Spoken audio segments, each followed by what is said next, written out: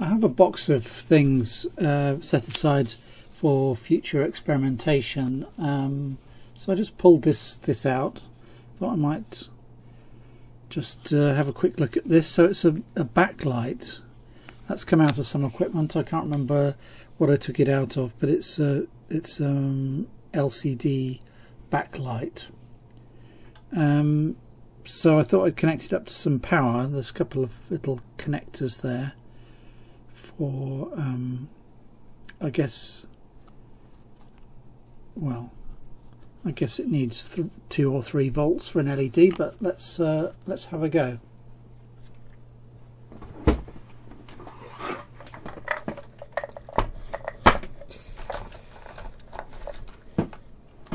So the first thing to try, I've got a little battery here, a CR 2016.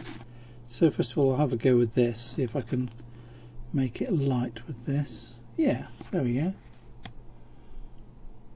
So it's a blue backlight. Let's just switch off this light here. See if you can see it any better. Uh, there you go. So, blue backlight. It's quite even. It's quite nice. Let's see if I can bring it a bit closer to the camera. I'm not sure if it's getting washed out by the auto exposure. But there you go, it's quite an even blue backlight. So that's that's pretty nice. So it'll run off 3 volts. Um, just connect up the bench power supply I guess and see how much current it draws.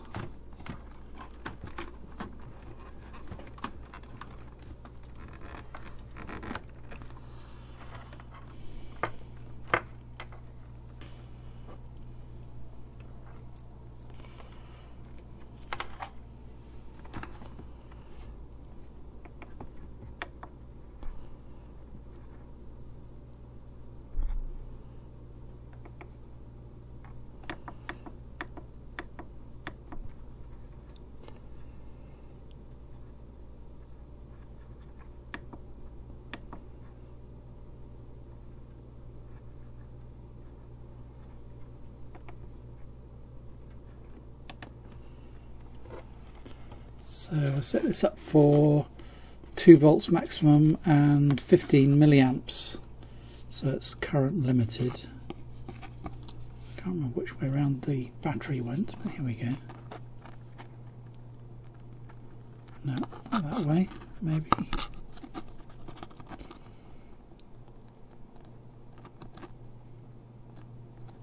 Uh, it might actually need 3 volts. Let's uh, set that up.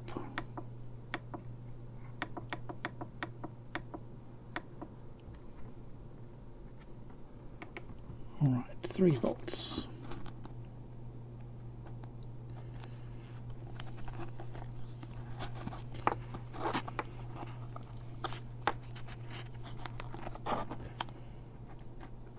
Oh, there we go. Oh, it's very bright.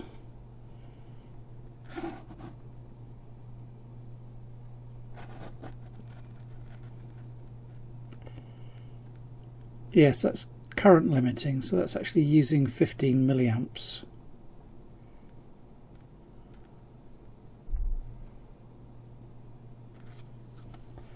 Oh, nice.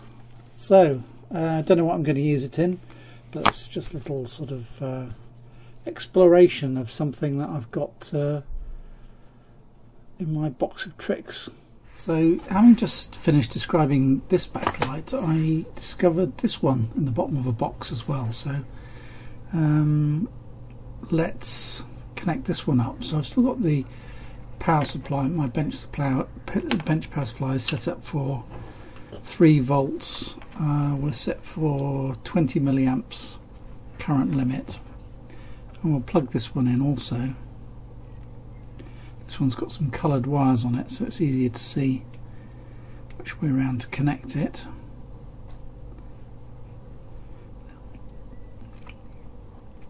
So this one's blue also. So we've got a blue backlight.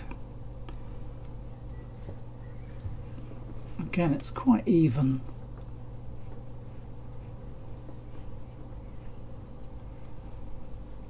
But it's not uh, current limiting, so I might just wind the current up a bit, see what happens.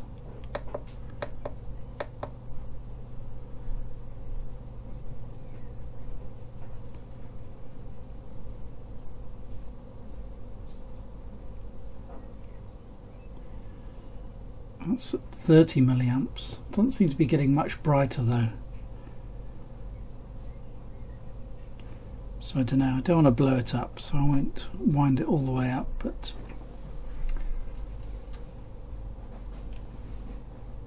but there we go, two blue blue LED backlights. Um, any, any ideas what you want me to use them for? So uh, any ideas about what to do with a blue backlight? Please put it in the comments below.